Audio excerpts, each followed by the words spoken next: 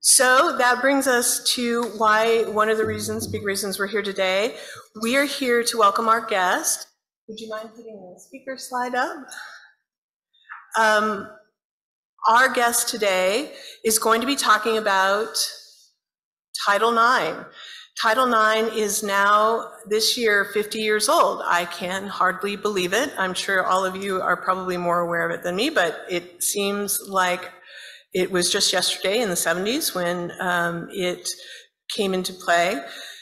It was a title that said there could be no sex-based discrimination for um, any educational institution that received federal funds. It was groundbreaking and it changed things for people all over the United States.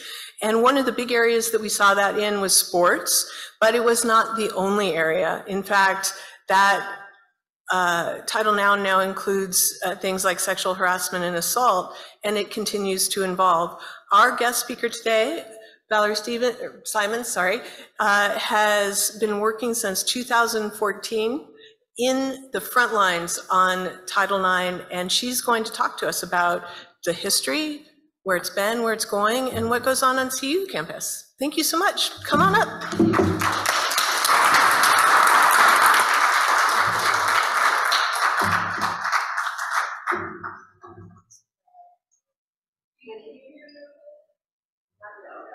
Okay, there we go. Okay, thank you. Thank you very much. So I, I mentioned that I don't, I don't do the podium very well because I get kind of, you know, engaged and I want to make sure we're um, all talking to each other. I have 30 minutes total, I think, 20 minutes to talk about things. We could talk 20 years, 50 years about Title IX. There's been a lot. Okay, so I just want to preface that now. 20 minutes to talk about, just give you the highlights, ask some questions. I have my contact information at the end. If you have any other questions, um, you feel free to reach out to me. Okay, oh, hang on, lost it. Oh, there, okay. Maybe I'm doing it the wrong way. Okay, let's try to go forward. We totally could. Okay, there we go. Okay, okay. So um, I think it's important. You have my bio, but I think one of the things that's important is to kind of uh, ground me um, about where I came, where I came from. Again, I'm just going to spend just a couple minutes because it really, I think, shows to me why I have been very personally and professionally impacted by really civil rights in general. And so keep in mind that Title IX is not just about sex-based discrimination in, in institutions that receive federal financial assistance. That was a great great uh, preview of that. But it really is a whole host of civil rights issues and really moving us forward as a country. And I feel very strongly about that. I feel very strongly about personally. I was part of the desegregation case in Denver Public Schools from the time I was five. Um, all the time that I um, graduated to high school, I worked on segregation cases, desegregation cases at the U.S. Department of Justice. So it's really just been uh, a continuation. Again, Title IX is part of this, but all of these are related in terms of ensuring equal educational opportunity, and that's been really important for me. Um, it's a mission that my entire staff, I think, feels very strongly about. Um, this shows you um, some of where I have led or where I've been, and also why it was important when I first came to CU Boulder. Um, as was mentioned in 2013, 2014, um, that really I saw a path um, of an institution wanting to be better, do better, and that's been very important for me to um, involve myself with the University of Colorado, where I started in 2014 as the first campus-wide Title IX coordinator. And now I have a new position um, from the last year or so, which is um, really aligning all of our campuses on the University of Colorado. That's Boulder, that's Denver, and Anschutz, and Colorado Springs. And so I now oversee all four campuses. Okay, maybe.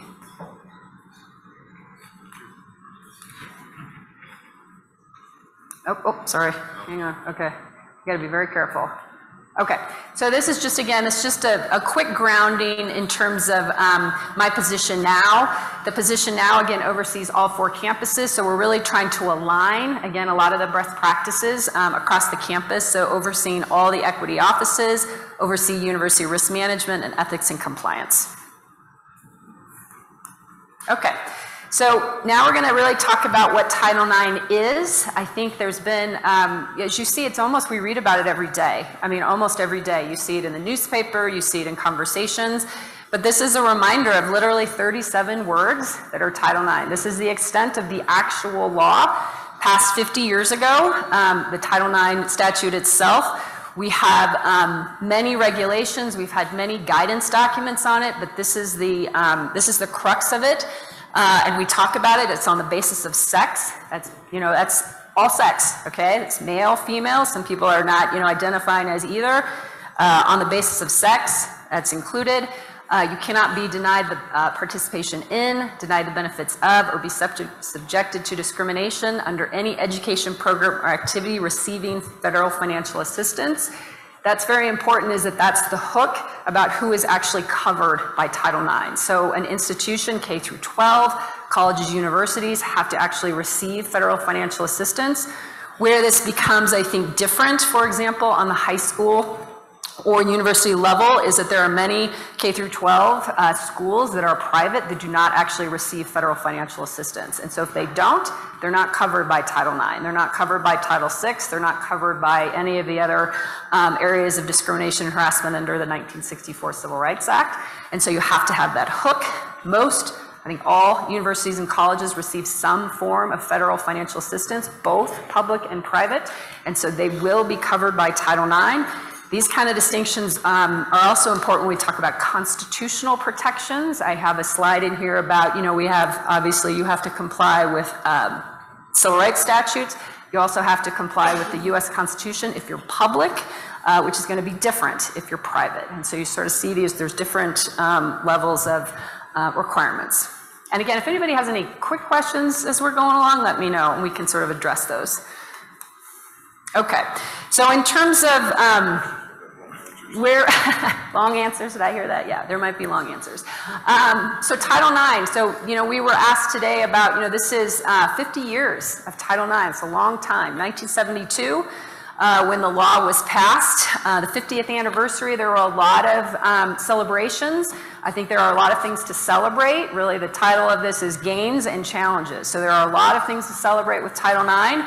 Um, and some continuing challenges. Frankly, they're going to be in the same areas. Uh, we've made some great gains in these areas, and we've made we still have some continuing challenges. Um, some key obligations, and keep this in mind that I think, um, and my and uh, the focus today is really, I do a lot of work on gender equity in sports as well as sexual misconduct um, adjudications. That's where a lot of the, con- the, the conversation is right now. But keep in mind all the areas that this is actually applies to. So recruitment admissions, counseling, financial assistance, athletics, sex-based harassment, and that sex-based harassment, including sex assault, dating, domestic violence, stalking, uh, pregnancy. That was a big issue uh, this year in terms of the revised um, regulations that came out of the proposed regulations. Treatment of LGBTQI plus students, discipline, single-sex education, and employment. So just think of all the vast areas, think of all the many changes that we have made um, over the last 50 years. Uh, and again, we've made some gains, uh, but we also have some continuing challenges. So what are some of those positive changes? Um, again, I'm going to focus really on these two big areas um, in terms of gender equity in athletics, uh, and as well as uh, responding and preventing um, sexual misconduct. Um, with respect to gender equity in athletics, um, we happen to have a subject matter expert here in the room. I didn't know she was going to be here, but I think Ceal Barry um, has really, um, you know, what, how she talks about it, how we've seen this um, in many environments about we've seen so much progress. Um, we've seen teams, We've seen, um, you know, we have an entire um, really process in which we're um, analyzing how to um, really uh, see what there's uh, gender equity in sports. We have um, whether there's participation. You know, we have that now. That's required under Title IX. You have that have to have that equitable participation in sports. So the same number of uh, females equitably as males in terms of your um, underlying population. You have to have that. That's K through 12 as well as college and university. So it's not just limited. Obviously, I have a college example here, but you have to have that equitable participation. You have to have equitable um, financial aid opportunities for male and female sports. Uh, and you also have to have what we call, um, you know, they call it the laundry list of things. I, that's sort of a strange term, but it's really looking at all the other things that go into a sports program. So, uh, lawn, or uh, locker rooms, that's a big one. Um, uh, uniforms, um, coaching, um, you know, just all the things that go into, there's a whole host of things that go into um, looking at whether something's equitable. Um, and that's where we've made, I think, tremendous progress. Again, K through 12, as well as universities. Um, and it's really not as much, we don't see as many challenges as we used to, especially when Title IX first um, came out. That was a, that was a major focus, uh, gender equity. Uh, and we're seeing, I think, again, a lot of progress in that. Um, but challenges remain, and we'll, we'll sort of get to that. The other area that I think we've seen um, a lot of the changes is with respect to uh, sexual misconduct. And I think that is where, in particular, our offices on the Boulder campus, the equity offices, that's where you've seen a lot of um, focus area. Um, and these have really, Title IX has really reflected uh, the changes that have come in the federal courts. Really, in the 1990s, federal courts started to determine that a uh, institution um, under Title IX um, would, oh, you got it? it's all good. Um, so, it, as I was saying, in the 1990s, is the federal court started to determine uh, that institutions who receive federal funding were actually responsible for conduct um, of both their students and their employees. There's a whole host of cases um, that talks about this, that even though it might not be the school itself who's doing it, that they were responsible if they were on notice and a school was deliberately indifferent to, for example, student on student sexual harassment. It could be in the form of hostile environment, it could be in the form of sex assault. Um, and this whole host of cases began to make um, institutions responsible for that. And that sort of became um, this other form of sex based discrimination prohibited by Title IX, that if you, again, were on notice of it, um, and you were deliberately indifferent for it, you were going to be liable. You were going to be responsible for that kind of action. And so you start to see um, the federal courts saying that institutions, again, K through 12, as well as universities and colleges, have to actually respond to this. And so this is where we start to see um, the development of um, both prevention programs to prevent it, as well as to respond to it. And so when we talk about our equity offices on the CU campus, um, all four of them, that's really what they're trying to do, is they're trying to ensure programs that prevent um, these type of incidents, but also respond to it. Um, and another piece that I think has been a tremendous gain is not only, again, the prevention and the response to it, but also the support measures that are really critical when someone is experiencing um, this kind of behavior. Is, you know, a formal investigation might not be the best way to resolve these kind of matters, so we want to make sure that um, anyone is involved, uh, complainants, witnesses and certainly people who are accused of these kinds of things have the support measures uh, that they need, and that's very important. And so I think these are some of the gains. Thank you. We're at 10 minutes. And I think that um, we also, when I see these um, slides, I think that's really important is um, part of this also is I think the gain is talking about consent. What is consent? What is it not? Um, and also incapacitation, and especially on a college campus, that interplay, that's the main kind of case that we get, and you can just, you would sort of suspect that just from what you read in the newspaper, is that interplay, especially on a college campus, about consent and incapacitation. And we have a long way to go, and this is always my soapbox of making sure that our young children, and especially before college, know about these things. We need to be able to talk about sex, we need to talk about consent, we need to talk about incapacitation, and all at the same time because that's when we're going to start to actually uh, move the meter on these things. Okay, I'm not gonna, yeah, sorry. I know, I thought I had it. Okay, there we go. Okay, you'll see that there's a theme, is that the same ways in which we've made gains as we have these continuing challenges. Um, this is just one example on the sports side. This happens to be the NCAA uh, tournament from last year. That was the men's uh, setup uh, on the bottom. That was the women's setup uh, on the top. That is one example. I could use a thousand. NCAA, and this is a trick question, NCAA isn't actually, they don't get federal financial assistance. That's a little bit of a trick question, because that's not an actual institution, but it's a really good way of seeing the just incredible disparities that still exist um, between men's and women's sports. Um, I could have so many examples, publicity, open the Denver Post. If you actually look at how many times they show women's sports versus men's sports, I mean, it, they just don't. They just don't, okay? And I think that's true, you know, even publicity, that's one of our factors when I talk about that laundry list. That's one of the factors is that you have to have that equitable publicity. Um, and so that's just one example. Locker rooms, publicity, they're still, we're still uh, not where we need to go, uh, or not where we need to be. And so that's just one example. Um, yeah, question. Could Title IX be used, I mean, the gender equity uh, phrase, can that be used uh, to allow a female to get on a men's football team or a male? Oh, I might have to to Ceal on that one. There's a lot in that question. Um, I don't know, Ceal, if you have any thoughts on that. Sorry, I'm gonna get out of your way.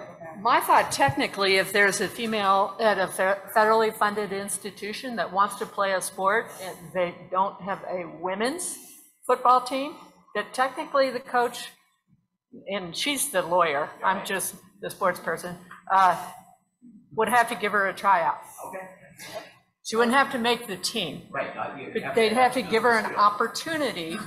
And if she was a great football player, uh, And we've had that in the past. We have We've had had that in the past. Some of you female- may know, yeah. But I think that's how you get, uh, and, and vice versa, men's volleyball, women's volleyball, men's soccer, women's soccer. That there, if there is in, interest, if there's, Not a women's football team in CU, so if there was a strong woman who wanted to try out, she would get a chance. Good. should, by law, that's my interpretation. And I'd go to Valerie to, if I, if, if the way that works at CU, I would tell the coach, yes, you need to give her a tryout, and then I'd call Valerie's office and make sure that she had my back. Yeah, well, and it's a great question. I appreciate that because under Title IX, under Colorado state law, we cannot discriminate on the basis of sex. And so, and how, what that means in practice is exactly right, is, is all of this, you know, um, and more in terms of is there interest, is there a team? I mean, here's a, here's an example. I had a case a few years ago in private practice where um, a student wanted to have a fourth level volleyball team. Okay, there were three, and this is just, a- there's a woman who was alleging that I needed basically a fourth level. So you have like your varsity, JV, C League, D, I don't know how they did it, but it's like the fourth level. There was only three and she wanted a fourth. And she brought a Title IX complaint because she said there's no fourth. And it's like, well, you're interested in that, but there's not actually interest from the rest of the, you know, from the, there's no other people to play, and we can't hold up, you know, a fourth level volleyball team because there wasn't enough interest. And that's sort of an example, but it's like, it, it's sort of a whole host of things is what are your existing teams? What's the interest? And that's actually part of Title IX too, is like, are you actually fulfilling the current interest on your campus? Um, and what are the, um, uh, what's the other uh, uh, teams that are available? So it's, it's, that's, hopefully that answers your question though. Okay, yeah. What about a little more complicated issue that's been in the news, and that Oh, is, yeah. a male by birth that wants to participate in a female sport, swimming, for example. Yeah, and I might have to have uh, Ceal's help on this too. Um, I don't know if you have immediate, I have some legal answers, but there's some, there's some practical considerations too. So I'm going to start with Seal, maybe with some practical considerations and other, other, other regulations that apply, especially in a college campus. Use the microphone so our Oh, sorry. Audience can hear Well, too. currently, uh, the NCAA the governing body of whichever association the institution is a member of. So if it is NCAA, NCAA has regulations to, to, that, uh, that this case would fall under the umbrella. So if it's male transition to female, has to be uh, taking uh, testosterone suppressing hormones for one complete year before they can compete. And that was a situation at Penn. And that was a very uh, high-profile case at Penn, and he, and she competed did. and won, and there was a lot of backlash. Uh, But, so that's, that's not a court case, that's an NCAA, the NCAA regulations, and those are evolving. I mean, they're, they're all over the world. In track and field, they have their separate Caster Semenya 800-meter runner. They, tho- those regulations are just evolving in the last five years, so they're almost test cases. Yeah, and thank you, Ceal. And I think as a legal matter, again, Title IX, you know, we cannot discriminate on the basis of gender identity, gender expression, or sexual orientation. And that's a whole nother, you know, discussion about what those mean, but we're talking about specifically gender identity right now. And CU's policies protect all of those. So does Colorado law. But exactly to Ceal's point, we have not gotten the recent Title IX clarification on this particular issue. Um, and supposedly they're forthcoming. I haven't seen them yet, but it is a very sort of on the on the cusp issue. Um, but that's probably the that's probably the best answer we can give right now. Um, I'm going to just finish and then because I know we're probably getting close to time. What are we for time? Okay, four minutes. So, okay, so I guess this, is remaining challenges, and that is definitely one of them. And also um, that we still have way too many incidents of sexual misconduct. This is nas- this is na- nationwide. This is worldwide, and we are still trying to figure out. And I, here's my soapbox: is we spend a lot of time, especially my office, focusing on the response to sexual misconduct, very serious behavior, which of course is very important. But I, we are not spending enough time on the prevention. And that is true with so many of our um, very big issues, is trying to stop this stuff before it happens so we understand consent, incapacitation, before these things happen, before we get in these situations. So I think that's where, that's where I, I would still try to spend as much time as we can. Um, Okay, so um, this is just a reminder, I think I mentioned this before, especially when we're talking about sexual misconduct adjudications. Um, Title IX is not a world in and of itself. All of our civil rights laws must be, um, all of our policies, all of our procedures, all of our practices must also be consistent with constitutional protections. This is both the US Constitution, our state constitution. So all of this must be working together. So that means that when we have um, adjudications, they must also uh, protect the constitutional rights, especially of those involved or those accused, because that's what we're really talking about. And just as a legal reminder, is that as a student, they have a legally protected right to their education. So if that is going to be at risk, either through um, a temporary or permanent suspension, expulsion, any other kind of deprivation of that right, you have to ensure procedural due process, that you have a notice. I mean, at its basic essence, it's notice of what you're being accused of, and an opportunity to be heard. And we could talk like six years about that as well, but that's a very quick, quick. Um, I think we talked a little bit about this, is that all of this applies um, when we think of high schools, unfortunately, I had some middle school cases in my private practice, sometimes the elementary school cases. Um, obviously, there's going to be some age um, issues here and a lot of laws that apply it slightly differently, especially at a state level if you're talking about a minor. Um, but this is all true. It's all true for K through 12, and I think that gets lost sometimes. Um, but it's all true. All the same requirements that I'm talking about, almost without exception, also apply in the K through 12 context.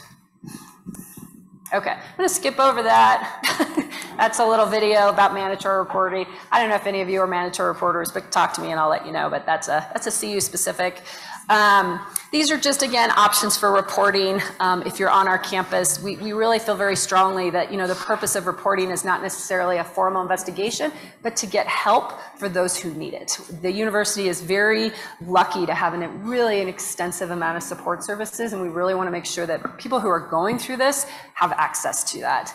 Um, and of course, that would include the sex assault nurse examination program um, at Boulder Community Health, which was actually um, a partnership between the OIEC, the chancellor, so the equity office, many county uh, partners to get that actually in Boulder. 10 years ago, we did not have that in Boulder, which is sort of shocking, but uh, that's true. Okay, where we're looking forward, I just mentioned um, just quickly is that we did get um, on the anniversary of Title IX proposed new Title IX regulations um, which didn't really make really significant changes from the last administration, some, but we're going to see yet again some more changes, some more refinement, including what we were talking about in terms of sports, uh, gender identity. I think we're supposedly going to get some soon, but we'll see where those lead. Um, okay, now we'll open it up for more questions. Yes, these two. Oh, Mike, yes, thank you. Sorry. Looking backward, um, uh, we know the turmoil that was taking place in higher education in the early 70s, and many of us were, were a part of that. Yeah. Um, was Title IX evolving out of that, or was there even a larger national movement that brought about the uh, development of Title IX? What, what led into this significant development?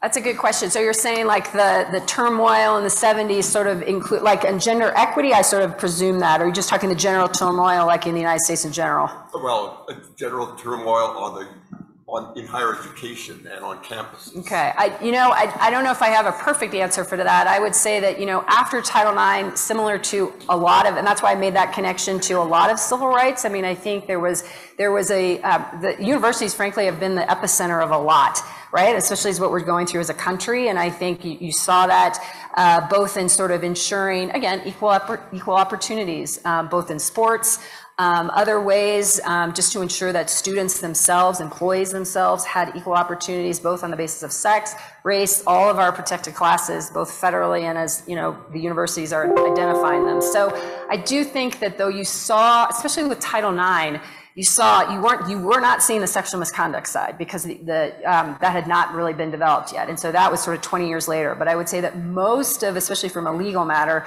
most of what we we're seeing in the 70s, 80s was the gender equity in sports. I mean, that was the almost exclusively. I mean, not exclusively, but that was where we saw so much of the activity, so much of the litigation. And when I was talking about that that kind of test they decide about whether there is gender equity in sports, that um, participation, financial aid, those kind of what we call laundry lists, which is locker rooms and um, um, you know um, uniforms, all those things. Facilities obviously is a big one. That's when that was developing, is in the 70s and the 80s, and that's why you know I often use the example as it's sort of like a pendulum, and we see that, and I think we see it go like this a little bit, and we finally landed where at least as a you know legal matter, we've decided this is what we decide is equity. And that's how we have that sort of test that we look at. And I would say sexual misconduct is still like this.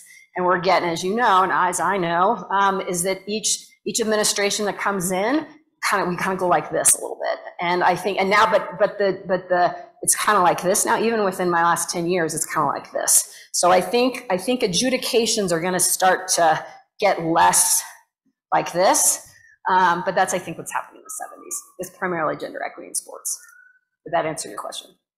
Okay, I think we had a question over here. Yes, hi, thank Hi. you. Um, So I- I'm wondering how much Title IX interplays into admissions questions? And does, is there any interplay within Title IX around admissions and affirmative action? And does the recent kind of court's consideration of affirmative action as it relates to racial admission policies have any interplay with Title IX and admissions questions? Yeah, great question. Thank you. So I would say not directly, but it's in the same sort of legal realm.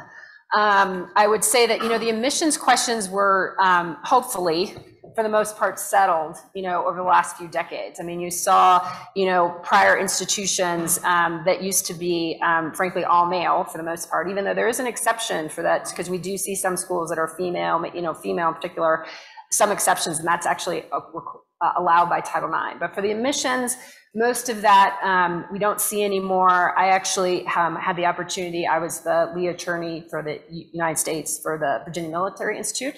It's probably one of our most famous cases where um, they did not allow women, um, and it wasn't a Title IX case, it's a constitutional case, frankly, and what's, what's called Title IV under the 1964 Civil Rights Act. So it wasn't actually a Title IX case, but you kind of see the um, requirements. But that's probably one of the last examples we have of where, you know, a state school saying, I'm not going to allow, we're not going to allow women um, into our state-funded school. Obviously, I went to the US Supreme Court, and they said, no, you, you, you know, you have to admit women. And so we're not seeing so many of those missions um, issues anymore. Um, But for the second part of your question, in terms of how does affirmative action work, you know, what's before, you know, the United States Supreme Court now is really not, you know, a lot of the civil rights has to do with, um, you know, if you have a finding of discrimination, whether you have to have a remedial um, measure to actually address a finding of discrimination. And so a desegregation case is a perfect example. I mean, there were, you know, many schools um, around the country that had a finding of uh, discrimination, such as Denver Public Schools, and they had to um, address that. Affirmative action is where you don't have that underlying finding of discrimination. And so they're related, but in a different sort of legal way. So if that answers your question. Sorry, go ahead. yeah. Hi, um, I'm Mike Brady. So, um, so I love what you said about the civil rights and then the right to education.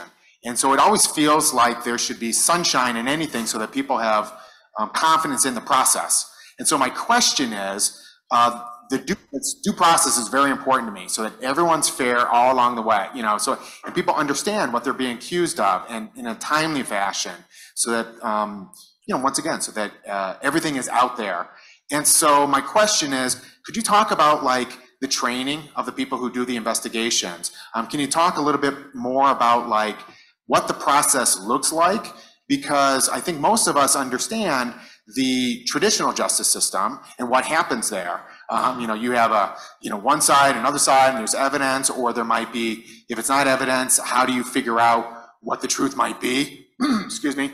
And so here, it's um, not very transparent. And I was wondering if you could talk a little bit about that.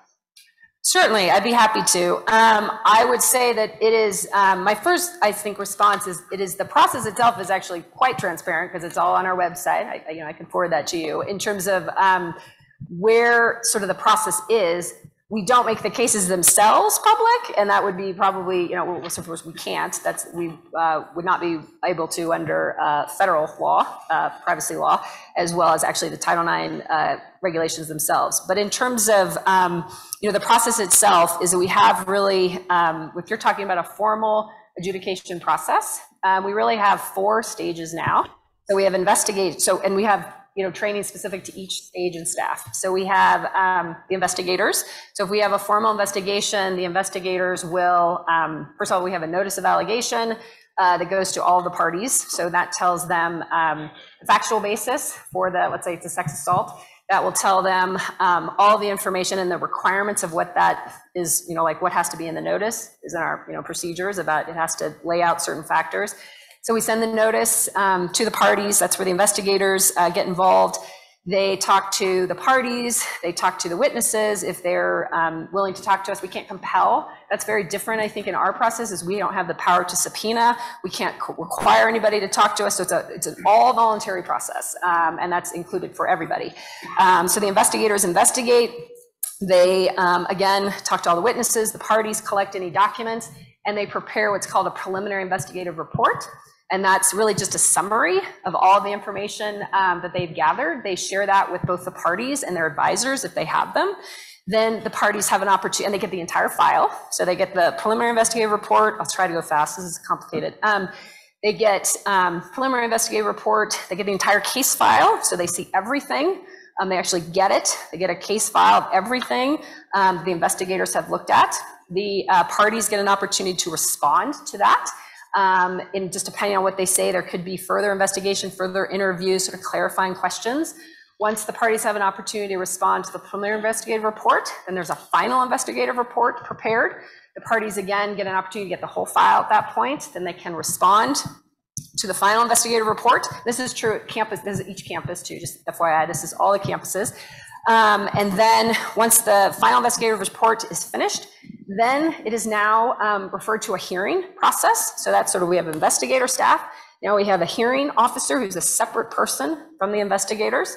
It goes to uh, a live hearing for cross-examination. We now do it all online. Sort of the, the change to the hearing process was also right at the same time that we had the beginning of our pandemic.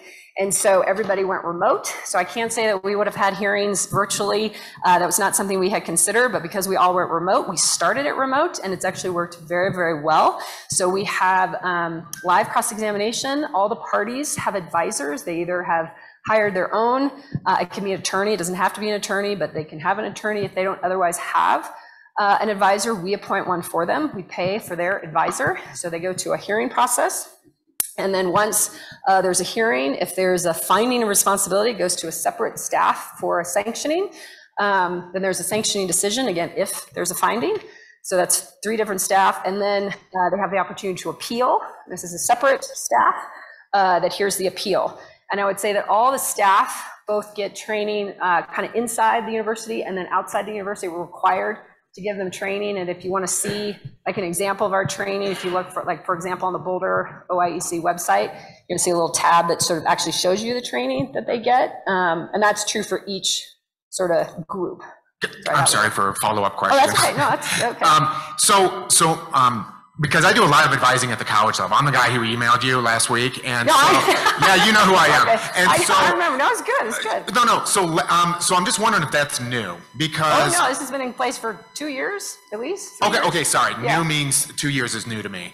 Um, so, because I had one last semester and then I had one about four or five years ago, the process you just went through sounds wonderful. That just wasn't the process four or five years ago, and it had nothing to do with CU. Well, so I had, I have nothing appreciate against that. CU. I just want Uh, to clarify that I have to follow the laws that are in place at the time. Right, and right, right. So I have to follow, so it like, and I have to follow, obviously, law, I have to follow state law, and so we've had, diff- as I think that was, I was mentioning, Right. we've had various requirements from, from Title IX and- and primarily the U.S. Department of Education, and they have had different views of what that process Okay, should be. this sounds great. I mean, I wish what you just Yeah. described sounds wonderful. I, I mean, I was- I was just saying that that wasn't my experience. So you've changed me, my Well, mind. this is why we're here. yeah, you changed my mind, you know, because I have to say it, that felt uns- unfair, you know, at the time, and I could sit here and talk to you about that case, this, this, this individual, but what you just described is, sounds like a great process, and I was hoping my question was a softball anyway, I was hoping to give you that light, because CU, you know, I, I did, um, the sexual harassment panel here about four or five years ago, my experience with CU has been wonderful, and I expected that Good, your, your that. call here would be, your, your presentation would be great too, so. Having said that, I also want to point out, this may be obvious, um, hopefully it's not, um, is the hearing process is incredibly difficult. These are, most of the people who are in hearing process are students. They are young students going through a very, very challenging process. And so, um, the procedural aspect, I think, is strong, and I appreciate that, but I, we are now looking at, you know, as really sort of, are there other ways to resolve issues if the parties are so open to it, you know, alternative ways to resolve these? And I get that question all the time from both people who are accused and both people who are bringing uh, charges against someone. And I just want to point that out, that these are very, very difficult processes, as you would sort of imagine, and you sort of see on the criminal side or the civil side. And putting people through that, anyone, is very, very difficult. And if we can resolve those earlier in a way that's a little bit more trauma-informed for everyone, that would frankly be my goal. Because that's not, you know, why I did what I do to sort of put students through this. so, you know, it- it's required, obviously, and, and we need to do it when we need to, but it's, it's a very difficult process. So to some Well, I'm standing up not to, to, to, to argue in any way, it's just because I'm here to thank you as well. So I'm also the responder, um, I just want to, you know, you just heard me. Um, I, um, had some experience in that, you have described the process, why CU is taking it so seriously, and I just want to really thank you for that. I love, um, your entire presentation, and on behalf of Boulder Rotary, I want to thank you. Um, back in 1985, uh, Boulder Rotary became involved in the eradicating of polio. There were 350,000 cases of polio back in 1985. Last year, we had two cases worldwide. This year, sadly, we have 30, but we're making a, a big dent in eradicating polio from the, the face of the earth. And so on your behalf, Boulder Rotary is pleased to contribute 100 doses of the vaccine to the Polio Plus. Thank you very much, Valerie. Very nice, thank you. Thank you, I appreciate that. Thank you. Thank you. Thank you.